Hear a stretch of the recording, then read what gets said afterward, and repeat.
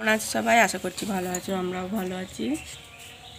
এখনই একটা video post করে আবার আজকে থেকে ব্লগ করা মানে এখন থেকে ব্লগ করা শুরু করলাম মানে আজকের ভিডিওটা আবার কাল যাবে তো চলো দেখি কতদূর কী দেখাতে পারি দেখানোর চেষ্টা করব শেয়ার করার চেষ্টা করব আমাদের সাথে থাকো পাশে থাকো এইটুকুই বলার।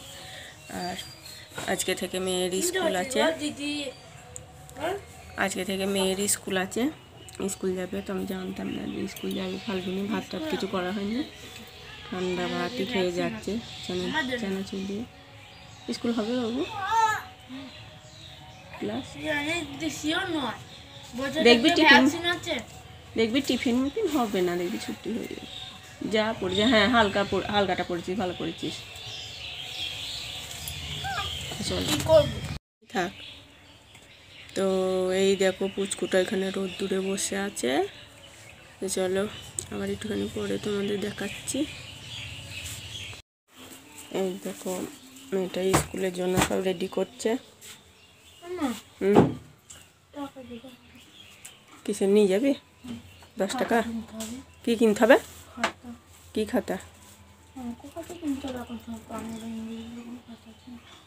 নেই? সেদিন যে কুড়ি টাকা দিলাম দুটো কিনে আনলি কি খাতাগুলো? হবে না?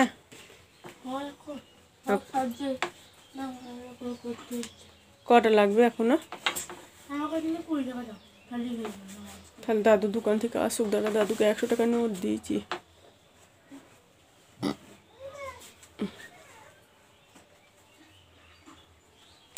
তো চলো মেয়েটা স্কুলের জন্য রেডি হচ্ছে। এই দেখো, সব বইপত্র নিচ্ছে। তো তো ওই স্কুল চলে যাক দিয়ে আমি রান্না টান্না কী করব সব তোমাদের সব দেখাবো।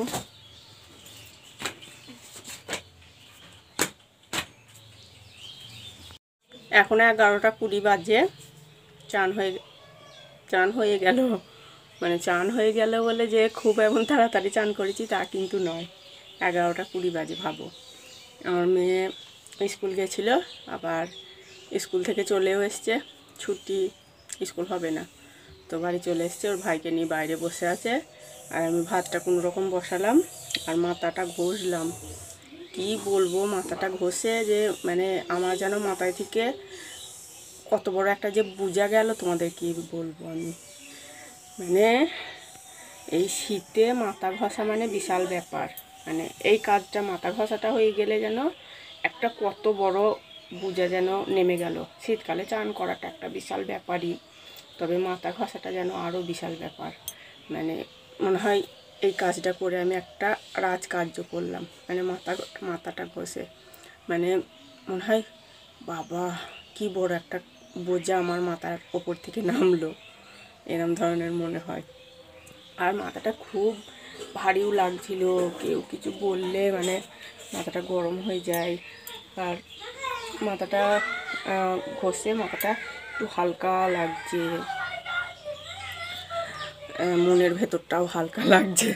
মানে শরীর ঠিক থাকলে মনটাও ঠিক থাকে। তো চলো, আবার রান্নার ওই দিকে যেতে হবে। তোমাদের সাথে একটু কথা বলে নিলাম। ভাইকে নিয়ে আছিস একটু ক্যামেরা করে দে তো। ডান হাতে করে ভাইকে শুইয়ে নিবি। আর ওই দেখো, প্রতিমা ওইদিকে তরকারি কাটছে।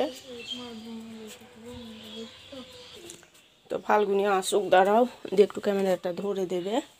ততক্ষণ আমি একটু এগুলো রেডি করি। ঘর থেকে বটিটা নিয়ে আসি।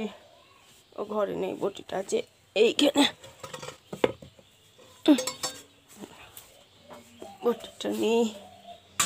বাবা, জল আনতে হবে। চাল কটা দিয়ে দিতে দাঁড়া বার করি। তেলু, তেল, সোয়াবিন, পেঁয়াজ, পেঁয়াজগুলো সব গাছ বেরিয়ে গেছে। ও বাবাকে তো বললাম তো, বাবা তো অতটার হেডিকে নিতে পারিনি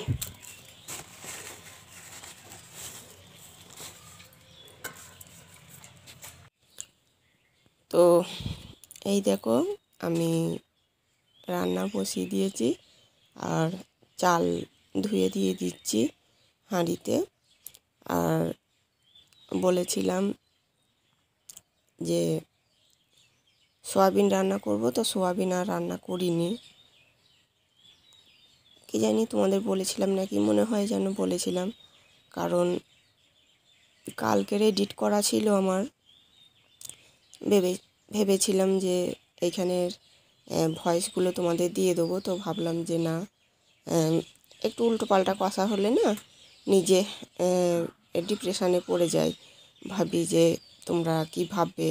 কারণ আমার মেয়ে এখানে ক্যামেরা করছিল আর আমার মেয়ের উপরে আমি একটু রেগে গেছিলাম।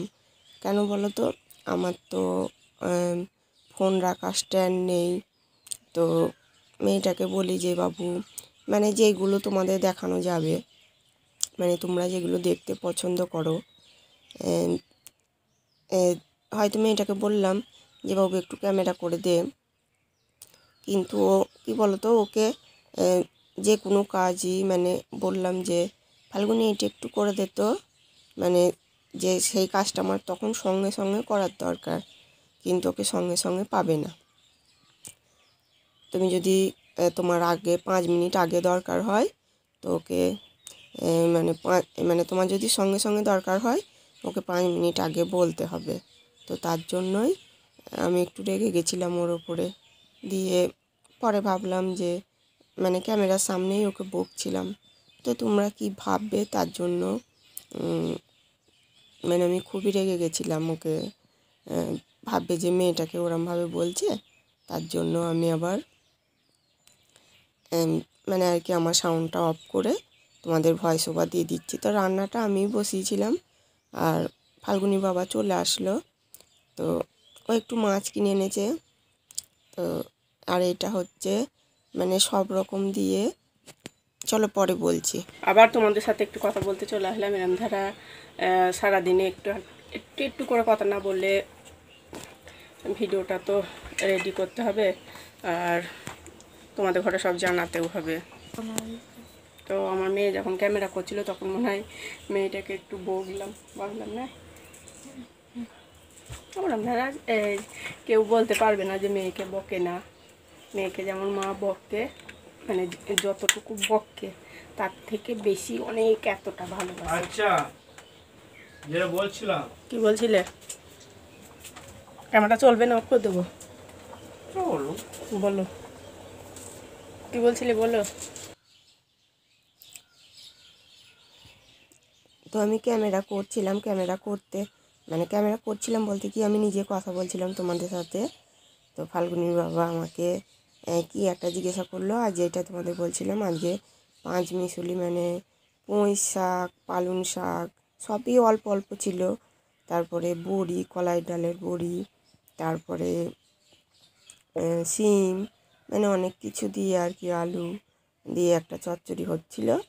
তো ফাল্গুনি বাবা আমাকে কি একটা ইয়ার কি মেরে বলছিল তাই আমি আবার বললাম যে, ক্যামেরার সামনে কি বলা যাবে? এমনিও তো ইউটিউবে অনেক গাইডলাইন থাকে। কিছু কিছু কথা বলা যায় না। যেমন, এর আগের দিনে আমি একটা ভিডিওতে একটা হলুদ ইয়ে পেয়েছিলাম। মানে আমাকে আর কি ইউটিউব সাবধান করেছিল যে এইসবগুলো বলা যাবে না কি দেখানো যাবে না। কারণ সেই ভিডিওটাতে আমি কিছু বলিনি লাস্টে কটা কথা আমার এসেছিল অন্ধকারে মানে একটু অন্যরকমভাবে এডিট হয়ে গেছিল তাড়াতাড়ি। তো আজকে ভিডিওটা কালকে আমি আর এই রান্না থেকেই মানে আমার শেষ হয়ে গেছিল ভেবেছিলাম পরে করব। তো আর করতে পারিনি সব সময় ক্যামেরা নিয়ে আর ভালোও লাগে না জানো। আবার কি বলো তো যদি একটু হ্যাঁ, তোমরা বলছো আমাকে যে তোমরা যে কজনই আমাকে ভালোবাসো, আমার কাছে অনেক তোমরা বলেছ যে তুমি ভিডিও করতে থাকো স্পেশাল করে। মানে ইন্দ্রাণী দি আমাকে খুবই সাপোর্ট করে। ইন্দ্রাণী দি আমাকে বলেছে যে, এখানে আমাদের মতো আমরা গল্প করছিলাম, তো সেই সাউন্ডগুলো তোমাদের দেবো না যদিও। ইন্দ্রাণী দি আমাকে বলেছে, তুমি মানে আর কি পরিশ- পরিশ্রম করতে থাকো, আমরা মানে এই পৃথিবীতে এসেছি যখন মানে যতদিন বেঁচে থাকব, ততদিন আমাদের মানে লড়াই করেই বাঁচতে হবে। তো তুমি পরিশ্রম করতে থাকো, তোমার ভিডিও আমরা পুরোটা দেখি। মানে ইন্দ্রাণী দি আমাকে অনেক অনেক মানে প্রথম থেকে সাপোর্ট করছে। তো ধন্যবাদ দিদি, তোমাকে অনেক ধন্যবাদ। সেই যে মানে আর কি আমার লড়াই আমি করে যাব। তো মাঝে মাঝে যখন মনটা খারাপও হয়, জানো, যখন দেখি ভিউ আসে না। তো আমার মেয়ে আমার একটু প্রশংসা করছিল। আমি শাড়ি পরিয়ে দিয়েছিলাম না, ওর একটা বান্ধবীকে। তাই আবার দশ তারিখ ওদের প্রোগ্রাম আছে, আমাকে পরিয়ে দিতে বলছে। আমার নাকি আমার মধ্যে কিছু আছে, তাই বলছিল। তাই আর কিছু বললাম না। আমরা বলা বলি করছিলাম এখন একটা কথা, ওই জন্য আমি আবার ক্যামেরাটা অন করলাম। সেই, কি গো? দাড়ি কাটছে। কি গো আমি একটা শাড়ি নেব? ওইটাই বলা বলি করছিলাম ফাল্গুনি বলছে মা। কি বললি রে ভালো করে বল। কি? যে তুমি বাবার কাছে শাড়ি চাও তাই তো? তো বাবা বলবে মা বলবে ওই শাড়িটা আমাকে দাও। তাই না? তো যাই হোক। যে তারপর ভালোভাবে ইয়ে দূরে বসতে যাব তাই ভাবলাম যে তোমাদের একটু বললে যাই। তাহলে তোমরা আবার চিন্তা করবে কোথায় গেল? এখনও কেন এতটা বেলা হয়ে গেল? এখনও ফাল্গুনির মা কেন ফাল্গুনির বাবার বউ। এখনও কেন ক্যামেরার সামনে আসলো না?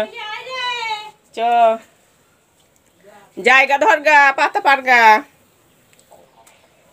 চুল করছে? গো। চুলটা গিয়ে একটু ছেড়ে দেবো। তো চলো।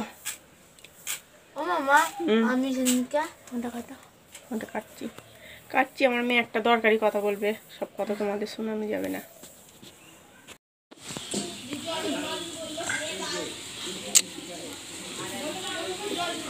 এই যে চলে আসছে।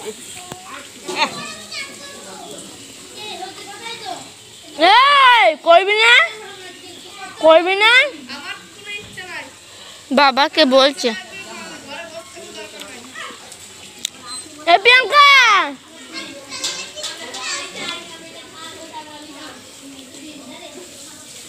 এবার নুন এনে দিবি হ্যাঁ?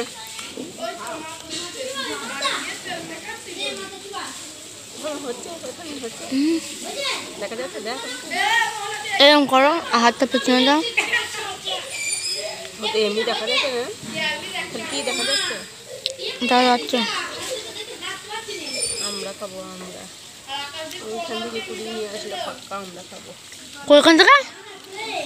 গাছের ওইখান থেকে কই আমরা কাজ দেখাবো ওই